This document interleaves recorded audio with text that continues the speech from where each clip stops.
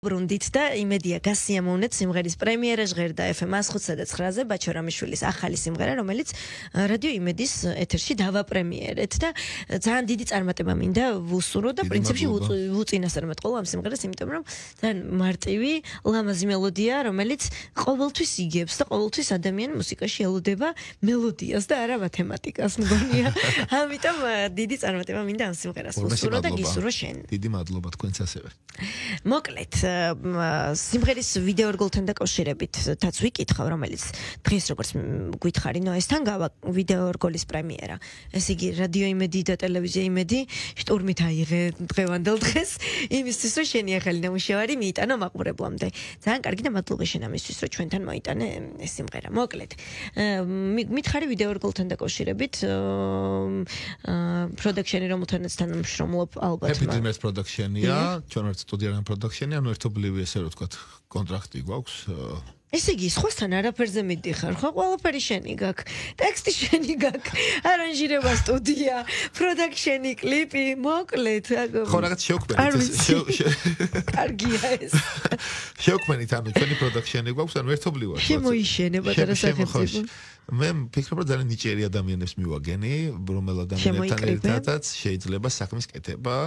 ამიტომ დღეს როცა საქმეს აკეთებ მიყვარს პუნქტუალურობა მიყვარს ყველაფერზე სწორად მუშაობა ხარისხიანი მიდგომები რომელსაც რომ ადამიანებს რომელსაც უყვართ რაც შეიძლება უფრო განვითარდნენ და რა ერთ პროექტს გააკეთებენ მეორეზე რომ აღარ ვთილობენ უკეთესის გაკეთებას იგივეზე რომ რჩებენ არ მიყვარს და ნუ ამ ადამიანებთან ერთად ვაკეთებთ როგორც მოგახსენეთ იმ ვიდეო რგოლებს, რომელსაც გეკმოთ ხოლმე ეტაპობრივად რის საშუალებას და რის დროც გვაქვს. ძალიან კარგი. ამ ვიდეო რგოლთან დაკავშირებით არის საქართველოსში გადაღებული? ეს კლიპი საქართველოსში გადაღებული. იმიტომ რომ შენ რეპოები დუბაის ვიდეო რგოლი გადავიღე. თუ არა მეორე დღეს დავიწყეთ ისევ ამის გადაღება.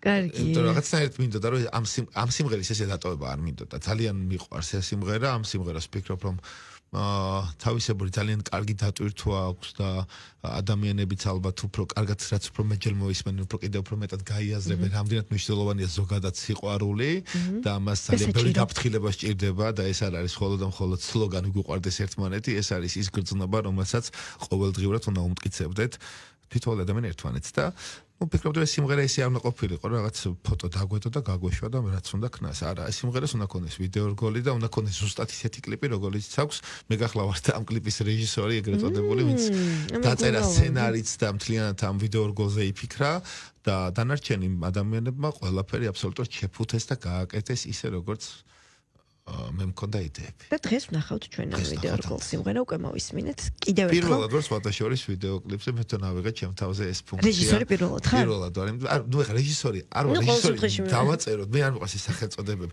უბრალოდ მე თვითონ მქონდა სცენარიც, რადგან მე დავწერე ლექსი. თუმცა რაც არ უნდა გაექცე, ასე იწოდება, როცა სცენარი ვიცი. ნუ ასე არ ეწერება ეხა სად არ ეწერება ეგ ამბავი. უბრალოდ ეხა მეთქი რომ მე თვითონ ვიფიქრე ამ ყველაფერზე. ყოველ შემთხვევაში სხვა რეჟისორი არ ყავს კლიპს და გამოდის რომ შენ ხარ. ხო, რო იკითხონ ალბათ ალბათ მე დავასახელებ.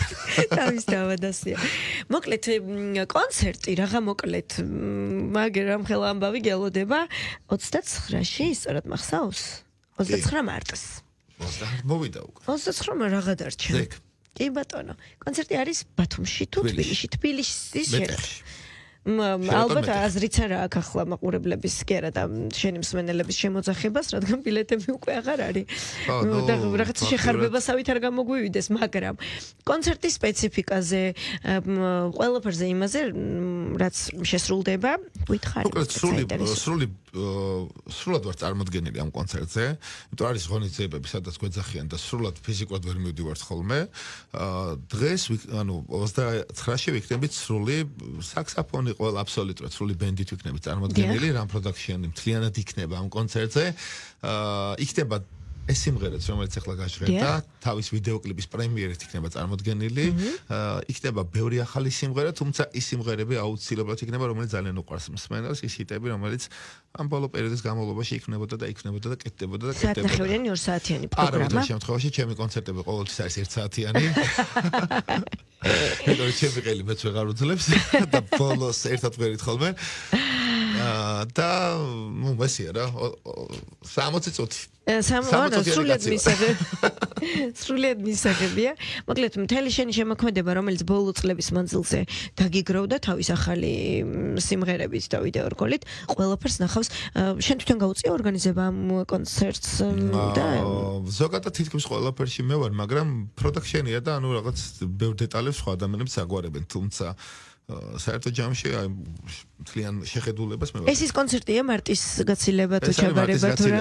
მარტის გაცილება. გაცილების კონცერტი. მე ვარ ძალიან კარგი მარტი გამოგვივიდა და ვფიქრობ რომ 29-ში უფრო კარგად დავხურავთ ამ საღამოს იმიტომ რომ წარმატებული თვე იყო და აგერ ფიჭემას დააგვიდგინეს და ვფიქრობ რომ ეს თვე ესე იგი რა ჯამში კარგად გავაცილებს რა. მაგრად გამოდის დავიწყეთ ფეხბურთით ფეხბურთით და ბოლოს სიმღერი დავხურავთ ერთად. ეს იგი ჟენი კონცერტიც მარტის გაცილებასთან ერთად ბიჭებს ეძღვნება და ამ დიდ სიხარულს რომელიც მოგვანიჭა. ჩემი შემოქმედებითი საღამო და იმ ადამიანებს, რომელი ადამიანებს დაესწრებიან, რა თქმა უნდა, მათ და ვინც ემიგრანტებს, რა თქმა უნდა, ვინც ვერ ესწრებიან, მათთვის მეცდებით რომ ლაივი გავაკეთოთ. ძალიან დიდი მადლობა ბაჭო წარმატებები მინდა გისურვო ყოველთვის ყველაფერში და შენს გვერდით გვიკულეთ მოკლედ თელს შენ შემოქმედებით ჯგუფს რადიო იმედი კარს უღებს და წარმატებები მინდა გისურვო.